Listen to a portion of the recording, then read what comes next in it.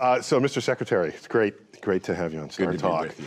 I always thought the military should, you know, we had a, uh, you know, once airplanes became important, the Air Force was invented, but now we have space. Why isn't there a Space Force? Oh, there is a space force. There is. A, there's. A, But they're, they're under the Air Force. I there guess, is space force under the yeah. Air Force, but I, you know, the Army and the Navy and the intelligence community also build, operate satellites.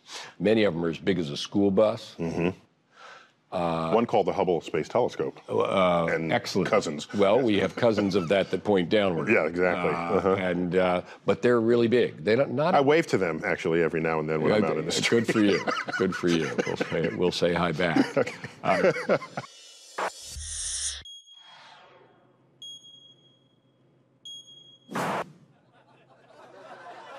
Wow. Was Yeah, that that- your satellite? the one you're waving? Okay. Oops. So uh, let me. So I, I'd like to wave to satellites in case they're looking at me. Can I believe for real that they can resolve the fingers in my hand as I wave? Not quite yet, but you never know where technology is heading. What do you mean you never know? No. That, no. that was not an answer. I- You do yeah, work first- for the government. A, that was not an answer. B, This is a government I may guy for never know, but you know. But he may not be able to tell you. Okay. Or then he has to kill you. do you have people for that? Because you watch any Hollywood movie, Right. this satellite is, you know, first it's fuzzy, say enhance, enhance, which we know is all BS. But enhance, Well, that's not real? No, no. If you have, a, if you start with a photo that's low resolution, you can't just say enhance and have some algorithm show detail where there wasn't detail there before, unless you invented it to put it in there. That's all BS.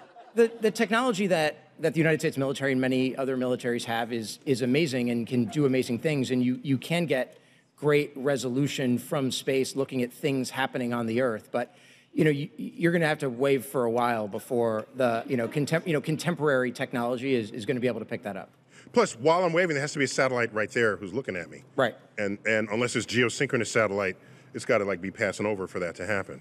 Coverage is one of the biggest issues with satellites. Is in, in the movies, uh, a satellite is always available on demand exactly when you need it to look at the bad guy.